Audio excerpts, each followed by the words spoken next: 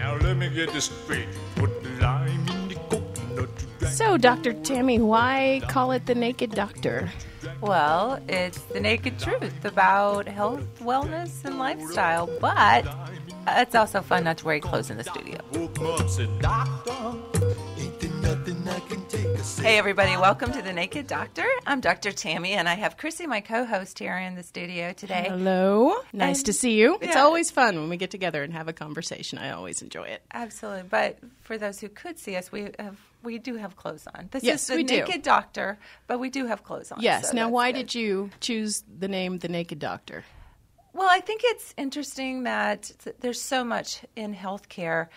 We're so conditioned to going to the doctor and getting just this, excuse me, crap information. And my disclaimer is don't stop taking any medications and don't Of fire course. your doctor today. Of course. But there's just so much myth information from the pharmaceutical companies and from the insurance companies, and they all just make us think that we're getting so much for our money and that we're safe, and we're really not. So, part of the Naked Doctor is revealing the naked truth about what's really real and what's not in the world, according to Dr. Tammy, anyway. Absolutely. And so, you know, everybody's got their opinions, and mine's just one. But being a traditional board certified family physician, I've seen a lot. You know, and one of the first experiences I had when I was in med school and residency was getting overwhelmed with so much information. And I remember my mentors, my professors saying, Tammy, don't worry about it. Just memorize 10 or 15 drugs, medications, and that's all you'll have to know. And you'll be you'll make a good living.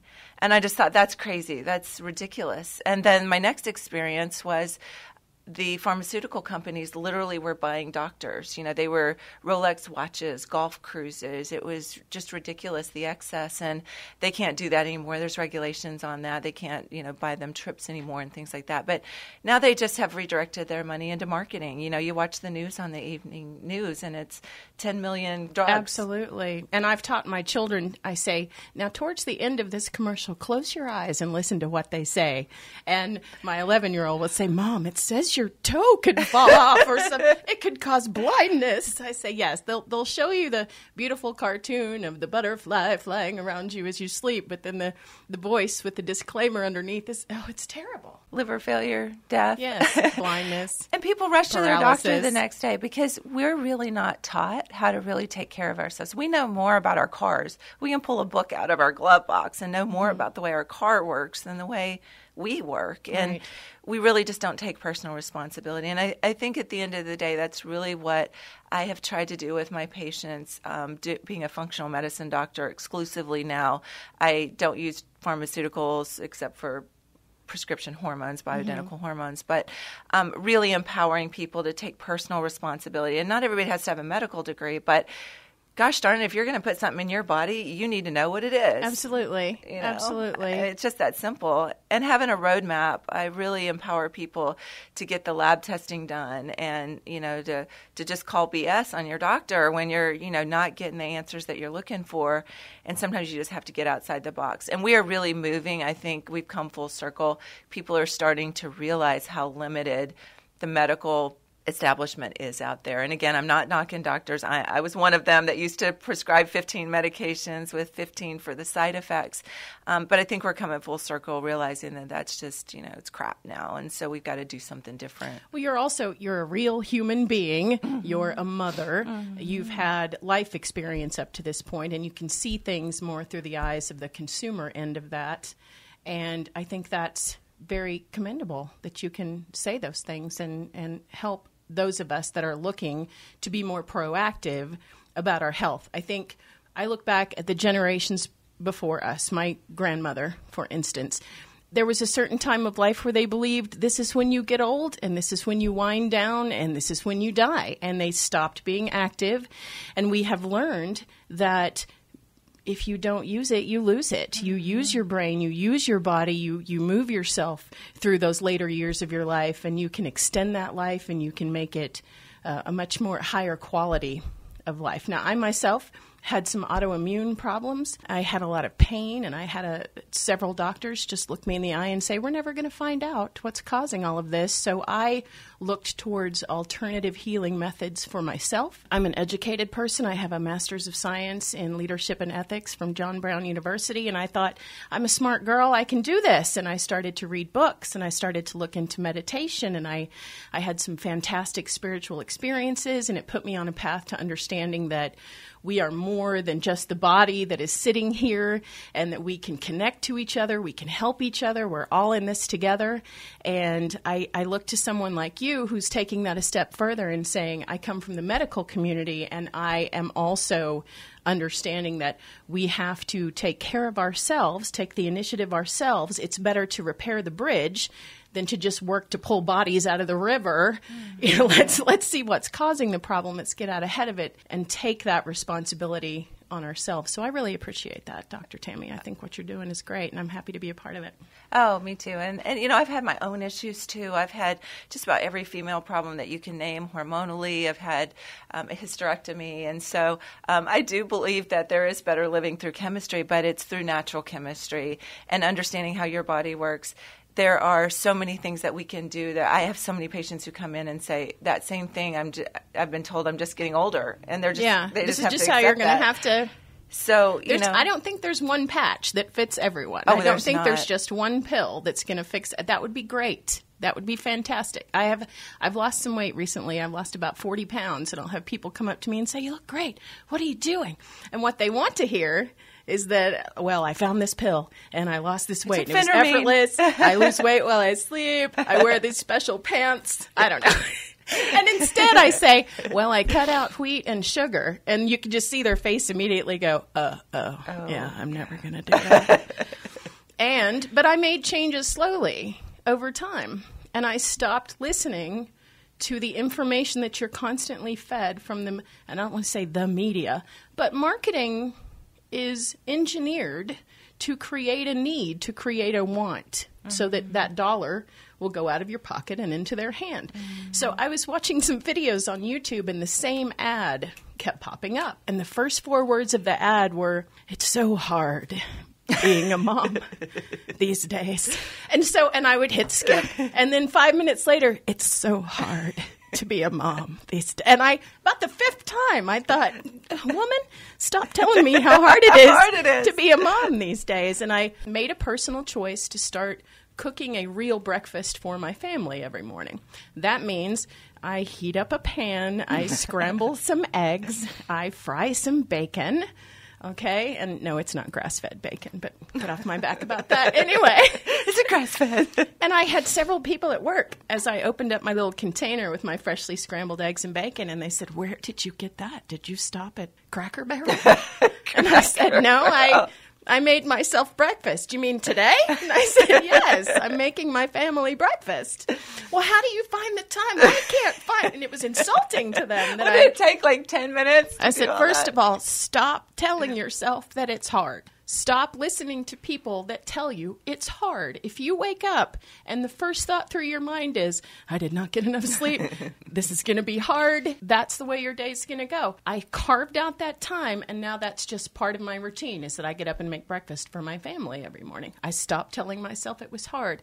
They're not stomach rumbling by 10 o'clock. They're not full of a wad of sugary paste when I send them off Lucky to school. Charms right? no, Twix, yeah. they they do very well. I I've made a point that, and the rest of my family knows we are not allowed to talk about how hard life is. We look at things in a positive way, and I think it's made a huge difference. Small changes. I've made small changes over time, and I've seen I've seen the results of that. So. Yeah, it's so important. We all make excuses, and it's so much easier. And it's again about taking personal responsibility. Sometimes you just have to take some Yeah. personal responsibility and start saying. But I don't know what people's spiritual beliefs are, but it, you know, if you believe biblically, the Bible was created out of the spoken word, Mm-hmm. you know. And so it's like it's funny. One night I was uh, going to uh, Florida, and uh, I had missed my first flight, and I called my husband, and I'm like, I missed my first flight. You know, there were plenty other flights, and you know, it was. I'm probably going to get there at two in the morning. Literally, it was two o'clock in the morning Yes. when I rolled into my Yes. hotel Well, room. look what I and, just you created know, for I just created that. You know, everything that we see was once thought. Every idea, every building, every piece of paper that you've written Absolutely. on, those physical things were once an idea. So, how is that any different from what we speak we're literally creating the way that we see the world. We each have our own unique view. We create that universe, and it's so it's there are so many different schools of thought that believe that whatever you think and what you say becomes your reality. I don't think that has to conflict with anybody's spiritual beliefs to understand that when you speak to yourself in a kind way, Mm-hmm. when you show love to yourself, and you and I'm not saying be unrealistic, but I'm saying if you can skew it, skew it towards the positive. Exactly. Give yourself a break. Make your road a little bit easier. I love Dr. Emoto's water experiment. Have you ever seen that? Yes. YouTube that Dr. Yes. Emoto's water experiment. It's um, basically they speak kind words to w- water molecules, look at it under an electron microscope, and they look completely different than speaking unkind or mm-hmm. hateful words. And it's it's our bodies are seventy percent water, so you speak to yourself. Your self talk is so important. And you know, it's interesting with medicine. I've I've come full gamut from prescribing all those medications to patients to looking at things like leaky gut and hormones, which I think are all very important in the day to day. The spiritual, the emotional connection, the self talk, the giving up the excuses, the making the little changes. That's eighty percent or mm-hmm. more. And it's like people have such a hard time really getting that that they have to start changing that self-talk stop it making excuses and empower themselves because everything else falls into place when you do that Right. T- to me, it's been a big shift from a mind centered consciousness to a heart centered consciousness. And our brain is set up to categorize and to compare and to judge. And we have a tendency to do that with ourselves. Those of us that have body image issues, it's difficult to walk through a crowd without going, oh, look, she's, look how small she is. I wish I was that small. Oh, gosh, my pants don't fit like that. I don't know. we judge ourselves and we, and constantly constantly, and we're afraid of how we're going to look to the neighbors, to our coworkers, to other moms. Am I being a good enough mom? Am I sending my kids to school with the right hair bow today? And you just have to understand that this is your life. Nobody has to answer for this except you. You're the only one putting judgments on yourself. You're the only one making those comparisons. Be a little easier on yourself. Yeah, that's really all it is. Maybe Lighten even just laugh a little. Are your kids wearing clothes? yes, that's a plus. they That's didn't go to school naked and they have a full belly. I'm happy. This is Our guest today is Jim Stipe. He is the date doctor. He's out of uh, Little Rock, Arkansas. He's been doing this, I think he said since 1989. I'm very excited to have him on today. And in light of some of the new stuff that's in the media with Ashley Madison stuff, Oh, yeah. um, there's you know a lot going on. So we're going to pick his brain a little bit about that. But you know, we were just talking about self-talk and and healing yourself really from the inside out, emotionally, spiritually. Um, and I think he's going to speak to that a little bit because he is um, the dating doctor. He says that you have to be whole before you can be whole for someone else. You know, Right, whole right. together. if you're not happy with yourself, you can't expect someone else to make you happy. We're going to take a little break. Um, uh, we're the Naked Doctor. I'm Dr. Tammy, and this is Cryssie, and we'll be back in just a few minutes with the Date Doctor. Brother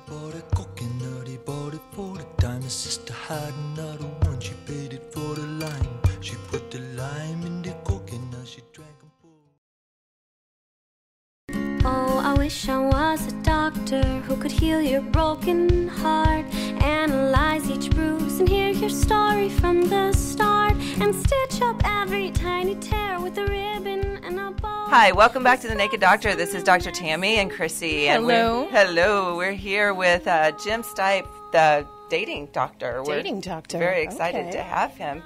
And um, just a minute ago, we were talking about being emotionally well and spiritually well and, and trying to be the best you that you can be self talk. Mm-hmm. And so this is a great topic. There's some stuff in the news lately about the whole Ashley Madison and um, dating websites and things. And I think it Yes. was, you know, funny. Um, Cryssie's got a funny little story about how um, some of her relatives met. But welcome, Jim.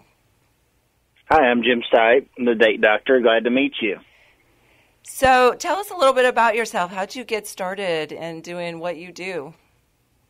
I've been in the, indus- the dating industry for about 25 years. I started out in college with a mix and match uh, program where I met, matched everybody up in the hall and did a love connection dating game and did a, a, a Phil Donahue Oprah style show called the uh, Baby Skipper Show. Um, we did that, and uh, then I uh, graduated from college and did MetroplexSingles.com in Dallas, Fort Worth.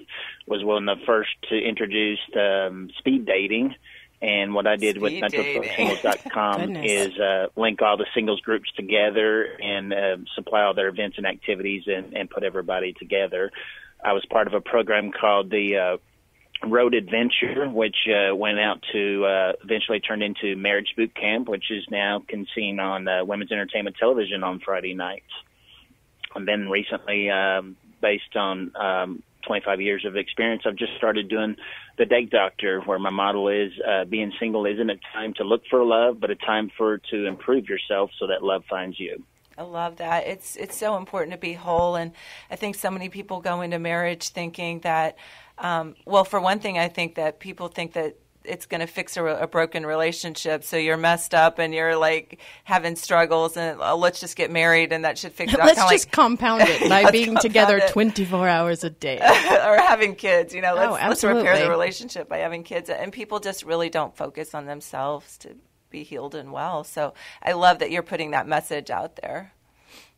That's the most important thing to do. You've got to love yourself first before you can love somebody else. And if you don't love yourself, then you're just going to attract to equal level of the people that um, see your value and worth. And if you don't see your value and worth, other people aren't going to see your value and worth, and that's how they're going to treat you. Now, how did you kind of come to that awareness? Because when you first started out, you were probably like all of us, young, and you know, mature, ma- this this kind of concept really comes with maturity and time. At what point did you were you matchmaking and realized that you really had to look at a deeper level and and and kind of groom and, and cultivate these people before they were ready to be in relationship? I think it primarily started in my mid '90s when I had my business Metroplex Singles going um, um, with uh, Jim Carroll and the Road Adventure, who's now with Marriage Boot Camp. That's pretty much what we teach. You have to love yourself. You have to get over your hurts. Uh, you've got to move on in life. You, uh, a lot of people carry a lot of baggage around from their childhood. They need to acknowledge that. They need to address that, and they need to give it to God, and they need to move on and and, and move forward in life. Um, they need to forgive others. I mean, that's the big biggest um, thing in the Bible about um, forgiveness. Um, as my pastor Ed Young in, in Dallas uh, Fellowship Church says, forgiveness, the other F word. My God swears by it. I do like that. There's so many of us that had, a lot of us were um, in a family that was a dysfunctional relationship, and that's what we grew up around. We grew up around programmed. some adults that weren't always respectful to each other. And for those of us that didn't ever really see what a healthy relationship is supposed to look like, I think it's difficult when they get into a relationship, it isn't going the way they think, and somewhere in the back of your mind, it's like, well, this is just the way it is. Being a couple is difficult. It's a fight. It's an uphill struggle, and I don't. I personally now understand that it does not have to be that way, but that's a learned experience. So, Jim, if someone, let's say, um, was wanting to like kind of repair themselves or get out, they're starting to question. I've been dating and dating and going on all these websites, and I'm just getting these losers and what's wrong where do you start with someone is there like an interview process do you kind of go back through that a little bit or um, what does that look like when you coach or work with somebody Well, primarily, I just talk about the pitfalls of dating, and um, I help uh, facilitate marketing yourself online, essentially. Uh, and a, you know, it starts off with loving yourself first. But you know, good pictures is important. I mean, the bathroom. Don't selfie, use a 20 year old picture Yes. that way when you were thin. that's, that's false advertising. Yeah, that's just the, the, those those are bad. I mean, good pictures are are really important and good ad copy. And you know, my my industry is real easy. I can fix up a, a, a woman. I can you know hairdress, makeup, everything. You know, good ad copy, good photos and stuff, and I can blow their phone up. You know, and they can get dates, and it's it's not hard. But the problem is, is with the guys. You know, guys need help. You know, in dressing and stuff like that. Uh, but the biggest thing that I have to tell guys is don't try to get in their pants. That's the biggest focus is is sex today in relationships. And that's what messes everything up. And if a girl is interested in you and going out with you, you pretty much have it in the bag. If you just don't try to try to be all over or anything, just be yourself, have a fun time, and enjoy it, and do something more more better than just an interview date. I heard Um, once that the biggest sex organ in the female is the brain. You get in her head, you make her love you, you make her um, heart Feel good about feel herself. Good about herself. Absolutely. you got it, and it doesn't take that long. But you go straight for the the you know other sex organs first, and you know it's like you've just you've lost it. Well, I I preach a 90 day rule. I'm very adamant about that. You get a job anywhere, you got 90 days to prove yourself. If you show up on time, You're do your work, Yes, do the things absolutely. you're supposed to do. You don't get the can have- benefits until you've been there 90 days. That's right. That's true. You you got 90 days to prove yourself. Then after that, they can give you the benefits package. Okay, so the same as with dating. I mean, the oxytocin's kicking in when you first meet somebody, and you know you're you got blinders on, and you don't know you know all their bad qualities or bad traits. You don't know know anything about them, and you enter sex into it. It messes everything up. And the first fight that you have is within the first two months of a relationship. And let's just say we start out a relationship and uh, we want to be at 50%, not at not at our full 100%. So if we start out a relationship with sex, you're at 100% and you- you're at the cocaine level in your brain about intimacy, okay? So when you have uh, your first fight after 60 days, you go back down to zero. Now, you heard of makeup sex. Let's have makeup sex and and start over. You can't do that because you can't get anywhere with it. So let's just say you start a relationship off. You first have your first fight in um, 60 days. Uh, you're at the 50% mark. You go back down to zero. Oh, makeup sex. Okay, let's introduce that after 90 days. Then you're back at the 50%, and it stays right there. But most relationships fail within 90 days because sex is involved in it, and it clouds everybody's judgment. And in order to determine what a true relationship's going to be, it's four to six months is when you really determine what the relationship's going to be about. And if it's all about sex, and and that's the only thing that they can offer to themselves, it's not going to be a relationship, and it's not going to work out. When do you think it's a good time to bring that topic up? Because clearly, when you first start dating someone, you don't know, you know, the what's okay to discuss and what's not. I guess it's all intuition and just discernment to when you have that conversation. But is that something you recommend in your coaching that right out of the gate they have that conversation that um, I want to get to know you first and you know this is this is where I'm at, or is that just kind of a you wait till they kind of start to attack you after a few drinks and you're like, I say, you know, right when you get that first message, just about, you know, within that time, you know, when whenever it comes closest to bringing it up, before you even meet them, you let them know that you know you have. I've got a 90 day policy, you know, and you know my body's a Ferrari, and I just don't hand the keys out to any guy for a test drive. Um, 90 days, and you tell a guy he's got to wait 90 days before he can get any. See how long he's going to stick around. That would, Most of them don't. would call out the herd quicker Yeah, than I yeah. would expect. yeah, if they're just looking for a good time, that's going to be pretty quick. Well, there's there's other there's other outlets for that. There are websites, I'm sure, that are more of the The Ashley yes, Madison, really, yeah, absolutely. But if you're looking Well, for long term obviously love, I got think Ashley 90 days Madison, would but be then there's other websites called Adult Friend Finder, and you know what? You can get on Plenty of Fish, which is a free website, and you'll find out that 30% of the people that are online uh, dating, they're already in a relationship and they're cheating, or they're married and cheating. And something like Plenty of Fish is free. You're going to attract to a lot of people like that. So let's just say, well, let's go get some better quality, and let's get on uh, Match.com and pay for the services. You're still going to run into those type of people in that type of situation. If there's someone's going to cheat, they're going to cheat. And it's just a shame that, that that stuff goes on in society. And if you're not healthy, you should get a divorce first. But it's kind of ironic that the Ashley Madison came out and, you know, it's basically like 2% of the, uh, uh, relationships, uh, involve a man that's cheating. Now we got the, um, the, the female Viagra just came out. So all those, all those guys are going to get a divorce, um, this coming, uh, winter. Now we got the female Viagra coming out. You know, I heard a lady talking not too long ago um, on a podcast about the new shame. And the new shame is the old shame used to be if you left your marriage. The new shame is to stay in a marriage that's not serving you, or, you know, that you call your girlfriend up and you say he's beating me or, you know, emotionally um, abusing me. The new shame is to actually stay in that. So I think that's an interesting twist that we've had. There's a statistic that says it takes a woman nine times um, before she leaves the relationship. She'll keep going back and back and back to their, abuser. And sometimes that I see that you know uh, some women will will get an escape plan, but they don't plan their escape plan uh, appropriately. They'll, they'll get out and realize I can't pay my bills and everything, and I can't survive. So uh, they go back to them for that reason.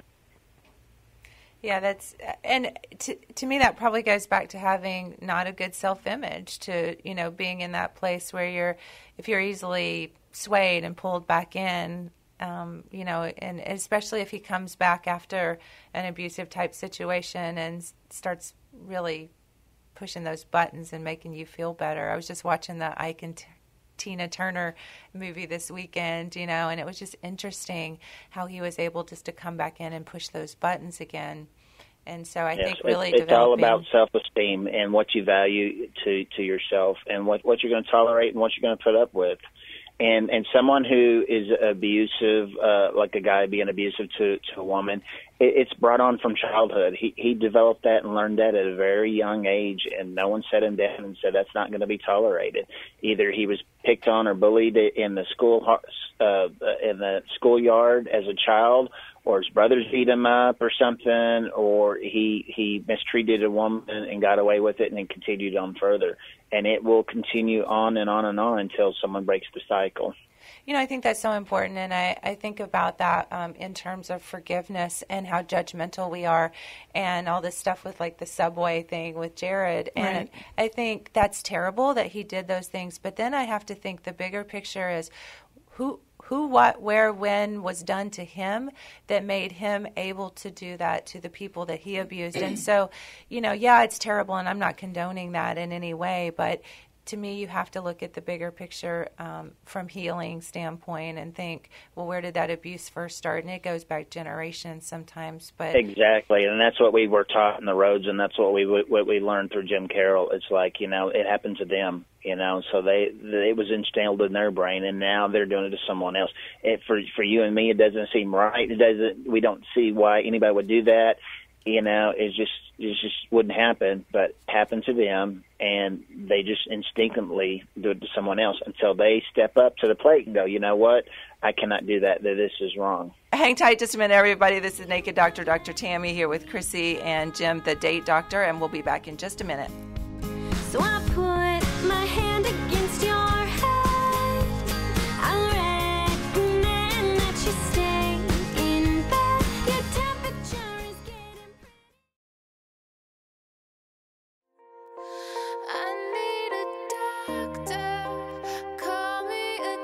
Hi, welcome back to Naked Doctor. I'm Dr. Tammy here with Cryssie and Jim, Hola. the date doctor. And um, it's funny, on break, we were just talking about um, prison dating sites and, Yes. and how um, there should be a whole site and people who can help you um, demystify or, or demythify what people are telling you given old what it really means. what does this really mean when he says? and what was the knight in shining armor thing you were talking about, Jim? Well, there was a guy I was looking on, and I did some research on him. I knew he was a bad guy, but his personal dating ad, his title in Match.com said um, uh, "Shiny armor being cleaned." We decided that he's might coming be out like, straight and telling you he's a bad guy. Yeah. You know, and you Needs a know little when someone the first five minutes that you meet someone, they're going to tell you exactly who they are, and it's up to you to listen. And from his personal ad, he straight up tells you. Knight in shining armor is what you think you're wanting. He says his shining armor is being cleaned. yeah, and from a Another doctor thing that perspective, you'll run thi- into online is um, um, Oh, hang on. From a doctor perspective, that could be he's in treatment for venereal disease. So let's just be Oh, clear, man. okay? well, I'm sorry, I didn't mean to interrupt. What were you going to say? Um, there's another thing that's just an excuse for bad behavior online is they'll say new at this. So they can always New go, "Oh, honey, I'm I'm 52 sorry. years old, but I'm didn't new." know, but I'm new at this." I'm sorry I went out with you and we slept together. I don't want a relationship with you. I just got a divorce. Oh, I'm sorry I'm new at this. So that at they, they'll put that in their ad, new at this. And you don't want to date someone who's just out of a relationship. You know, they need to have 90 days to heal at least. Uh, 25% of the time that they were in a relationship. Uh, maybe up to six months so that they can they can move past that. But if someone's going through a divorce, typically it takes them up to two years to sell their wild oats and they'll jump online and it's it's they're at the buffet and they got everything going they want to sample on the buffet and that might be you. And uh they'll they'll use the excuse i'm new at this. I don't know what i'm doing. Sorry we slept together. Oh no i don't want a relationship with you. I'm new at this They should just say, looking for the rebound girl. rebound That's girl. really, would you like to be my rebound girl? Just be honest. Oh, that's, be real. that's Just March be real. Madness. I mean, January is the breakup month, and uh, February, I saw a match triple in size of people that just got broke up in January, and they're on Match.com trying to find the love of their life. And you know, here in March Madness, hey, that's the rebound. That's what's all going on. What other things do you recommend that people, when they're um, reading those ads, that they steer clear of? anybody that introduces sex in it. I like to do a, a filler ad. I, I helped a girl uh, the other day in New Hampshire, very good looking girl. I knew I'd blow up her phone and stuff. So a lot of guys are visual, and they're just going to look at the picture and they're going to email you. Okay, well, she had a picture of a, a Dunkin' Donuts cup, and she's hiding behind a Dunkin' Donuts cup. So it was interesting ad, and then we had some beautiful pictures of her afterwards. But we write a good ad copy, and the, and and it said Deb does uh, Dunkin's is is what she liked in her in her in her or, or Deb runs on Dunkin's. And at the very end of the ad, we we say, "Tell me what your favorite Dunkin' Donut is." So we wrote this long ad. So at the very end, we want to know what guys read their ad, and so she does not going to respond to anybody that doesn't refer to Dunkin' Donuts in her ad. Oh, okay. That's smart. Yeah. A little cryptic. A little, A yeah. little bit of a little bit of a twist there. I like it. yeah. That is interesting because you have those people that like to write a book. They'll have their mm-hmm. profile will be page after page after page, and then you have, hey, it's just me. I'm up to the usual stuff. Call me. so then you know nothing. and I realize Yeah. there's no way in those first few communications, there is no way in a text that you can really get to know the tone of someone. It has to be through conversation. It has to be through voice. Mm-hmm. And I think we've taken a piece of that out the way that we communicate now, it's difficult to tell inflection or intention in a text. I think a big part of that just has to be conversation. So I would, people that want to meet up without ever even hearing someone else's voice, I did that. I think that needs to be rethought. So I was thinking about your little story, Cryssie, about your family member. Oh yes, pal, my so my mother met my stepfather through a pen pal ad that was in the newspaper. This was late 80s, pre-internet. And I remember speaking to my mom about something and saying, "Do you think it's weird when when internet dating first started? Do you think it's weird that people are meeting on the internet?" And she said, "Honey, you have to remember that I met your stepdad via letters. You had to write the letter and send it off and then wait a week until you heard back from them. I just thought, wow, that's like Flintstones. That's like, I'm going to carve this into a rock. But it's so it's so I don't know. There's something so romantic about There the is a little word. bit. I think we miss a little because we have this new technology, and so we Mm-hmm. can send pictures, and we can send provocative pictures, and so we can send weird messages. Um, and it's complicated, and, and it used to be a quill It used to pen and quill my pen. dearest Gwendolyn. How I And the have biggest missed problem thee. today is it's all instant.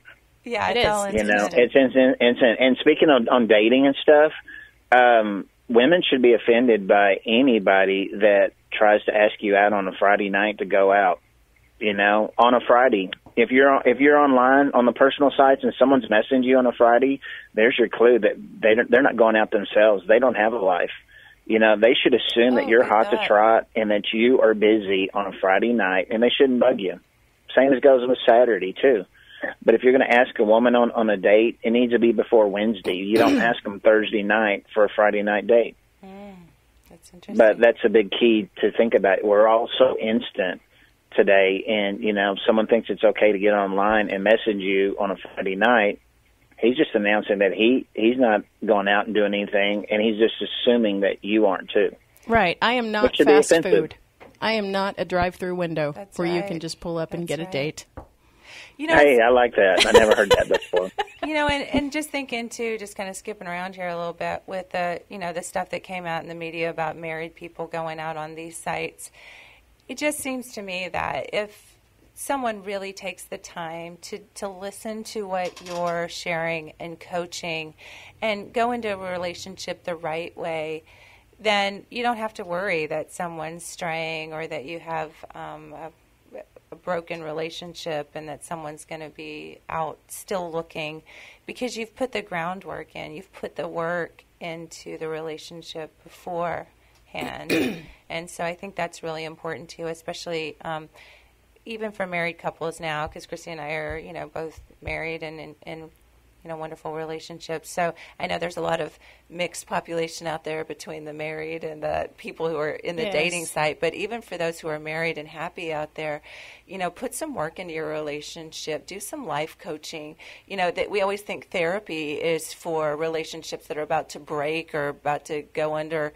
But you know, invest a little bit maybe in some coaching or life coaching or therapy with your relationship to make it as strong as you possibly can so that you're not blindsided by those if you treat your relationship like you were dating, you know, before, it's not, it's not, it's not going to do anything but improve, you know. And, and it's a shame that how many times do I really see a guy open the car door for a woman? Very rarely That's do I rare. see that. It's weird you when it does happen. I'll tell you you. know, it's so interesting. My son, yesterday, he's 11. We were going in a store, and he just kind of ran in in front of me. I had opened the the door, and he kind of ran in through me. And I could have just let that go. And I thought about just letting it go. And and I thought, no, this is a teaching opportunity. Mm-hmm. And I said, honey, I said that's fine. You're only 11, but I said, you know, it's a show of respect, and we're kind of having to work on respect and etiquette a little bit. And it's, you know, I, whether it's really important or not, I, I, you know, spiritually, I don't know, but you know, just from a respect standpoint, I just told him it's good to hold the door open, and he actually turned around and he said, "Here, let me do a redo." And I thought that was really powerful. That's fantastic. So, you know, just teaching them early because it's easy when, you know, we're moms with our children to not, you know, to let that stuff slide when they're young, but it really starts early. well, on the same Yeah, note, but men are still tr- men are still trainable. I mean, you get in the car, the car doesn't start until you got your seatbelt on. Yeah, don't Okay? play that whole So- old dog thing. Old It- dog, you can, good well, on, on another note, I'm thinking I have two young daughters, and if you, like we were saying, fix the bridge instead of pulling people out of the river. If you do Yeah. instill your young women Oh, we with the people how to treat understanding that they deserve respect. You deserve to be respected. Yeah. And you should not there was a little boy that was bothering one of my daughters and someone had said, "Oh, he's he's hurting you. He's hitting you and pulling your hair because he likes you." And I said, "Oh, no, no, no, no. We're not going to we're not going to draw that Start conclusion that boys that. that hurt you are hurting you because they like you. Nobody's allowed to hurt you. Mm-hmm. Period. I don't Well, care who it is." Let's start something today and see what kind of movement we get out There of it. Women aren't allowed to open car doors anymore. there you go. I, I will stand And there in the do. rain until you Stand there in the rain. You know, you, you, the car won't start unless you put the seatbelt on. That's typical. Okay. Right. So you stand out right there, and he's going to get in the car and he's going to go, "What's wrong?" You know, he's going to start the car up. You stand out there in the rain. I don't care how wet you get. You stand there until he gets the clue to get out of the car, open the car door, and let you in the car door. It's a And it's not reach revolution. over uh, uh, to the other side of the door and swing the door over. No, he gets himself out of the car and open the car door for you and let you sit sit down in the car before anything else happens. and it really requires a you know that we go back to that self-respect we really do teach people how to treat us we really set, Yeah, set the exactly. tone. so, we if have you to if have you that want to have your car door open, stand right there. Right. Do it. See what see if this changes for you.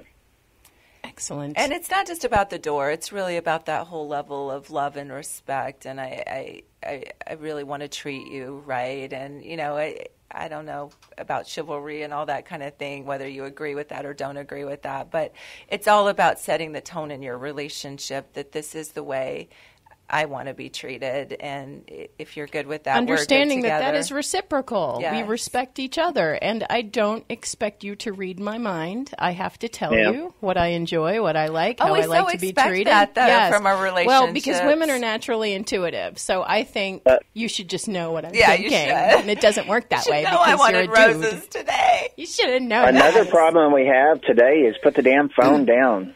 You know, I'm with Oh, you, gosh. and we're not with anybody else. You and I are together, and I don't need a third third party in the relationship.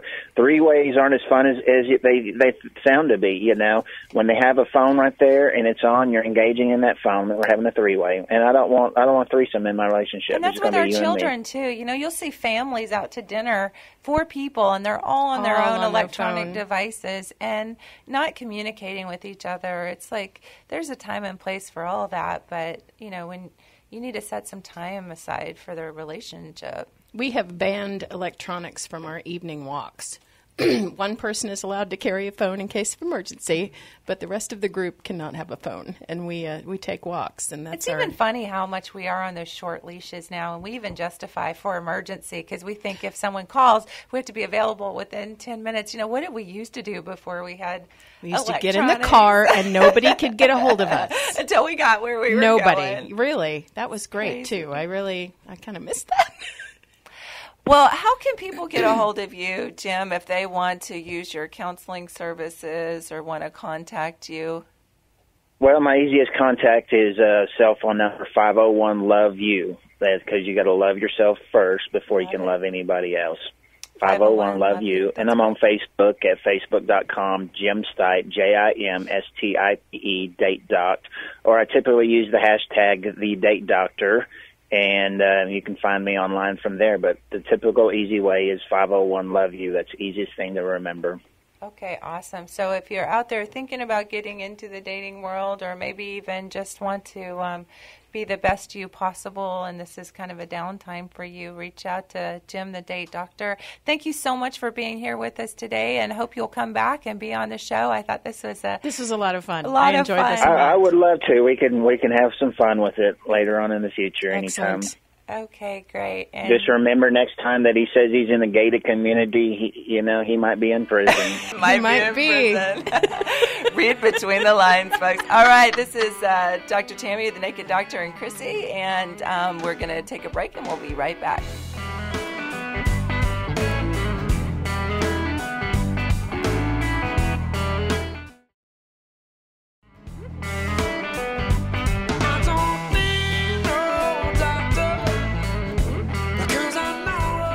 Hi, welcome back to the Naked Doctor. This is Dr. Tammy and Cryssie. Hello.